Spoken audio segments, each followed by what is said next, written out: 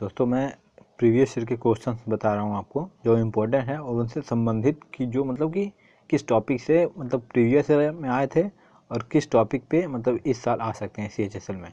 तो देखिए, उसी हिसाब से हम देख लेते हैं। क्वेश्चन पहला क्वेश्चन है, बैरो सिस्मोग्राफ का आविष्कार किसने किया था? जॉन मिलर ने सिस्मोग्राफ का आविष्कार किया था। न्यूटन का तीसरा नियम पूछा है। न्यूटन का तीसरा नियम है क्रिया प्रतिक्रिया का नियम।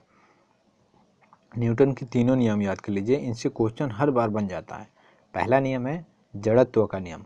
मतलब जब कोई वस्तु रुकी है, तब तक उस पर बाय बल नहीं लगाया जाए तो कोई कार्य नहीं हो। जैसे कि आप ट्रेन में बैठे हैं और ट्रेन आगे चलिए तो आप आगे की तरफ़ झुक जाएँगे।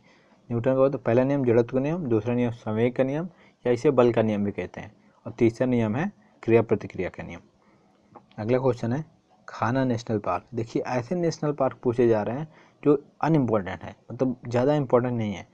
तो आप अनइम्पोर्टेंट वाले इस साल भी ऐसे ही क्वेश्चन पूछे जा रहे हैं। अनइम्पोर्टेंट डैम, अनइम्पोर्टेंट मतलब जो अनइम्पोर्टेंट है, ज़्यादा इंपॉर्टेंट है उनसे पूछे जा रहे हैं। तो अनइम्पोर्टेंट वाले आप याद कर लीजिएगा। खाना नेशनल पार्क कहाँ पे मतलब किस जाति के लिए तो ये डियर के लिए है, स्वयं स्वयं डियर के लिए, स्वयं हिरन के लिए। Which vitamin, health in blood गए ब्लड क्लॉटिंग जब होता है, खून बंद नहीं होता है तो उसे रोकने के लिए खून का थक्का जमाने के लिए कौन से विटामिन आवश्यक है? विटामिन के टू अब विटामिन सारे विटामिन उनसे होने वाले रोग और उनकी कमी से होने वाले रोग और उनके रासायनिक नाम, ये याद कर लीजिएगा। ये इससे क्वेश्चन बन, बनते हैं और बन रहे हैं सी एच दो हज़ार अठारह में। बी फाइव का मतलब क्या है?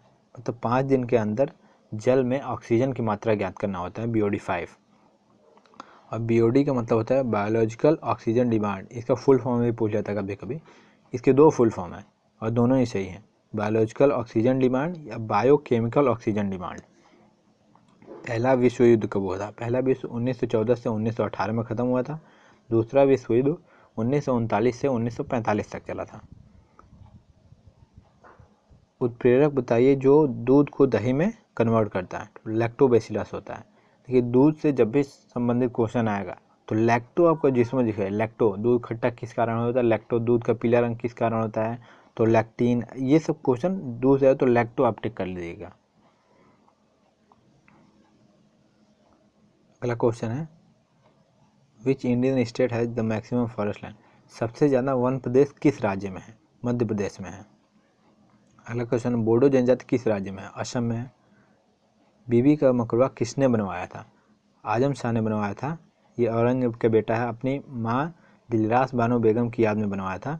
इसे झूठा मकबरा, बीबी का मकबरा औरंगाबाद, महाराष्ट्र में है। इसे झूठा ताजमहल कहते हैं या ताजमहल की नकल भी कहते हैं। तो ये बहुत ही इंपॉर्टेंट क्वेश्चन है। ये इस बार पूछा गया है। ऑस्कर अवार्ड दो हज़ार सोलह ये छोड़ दीजिए।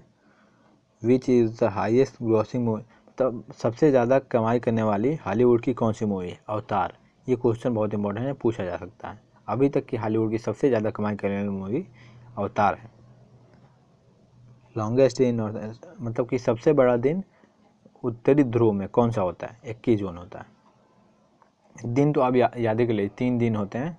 उत्तरी ध्रुव और दक्षिणी ध्रुव में सबसे बड़ा दिन और छोटा दिन और मतलब कि उत्तरी ध्रुव में सबसे बड़ा दिन और सबसे छोटा दिन। ये चार दिन याद कर लीजिएगा पृथ्वीराज रासो के लेखक कौन है? चंद्र बदाई पृथ्वीराज चौहान के दरबारी कवि थे।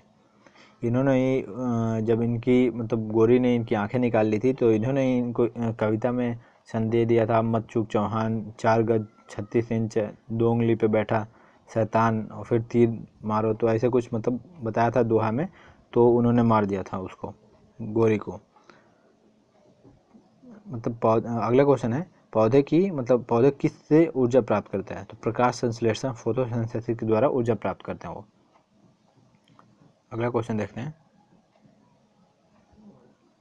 क्वेश्चन है कि राज्य के सॉरी राज्य के गवर्नर जनरल को कौन शपथ दिलाता है? तो राज्य के गवर्नर जनरल को चीफ जस्टिस शपथ दिलाता है। मतलब चीफ जस्टिस स्टेट का चीफ जस्टिस हाई कोर्ट का। Which is the depression maximum distance from origin point thank you दोस्तों, अब अगर आपको वीडियो पसंद आया तो लाइक कीजिए शेयर ज़रूर कीजिए सब्सक्राइब कर लीजिए हमारे चैनल को कमेंट कीजिए।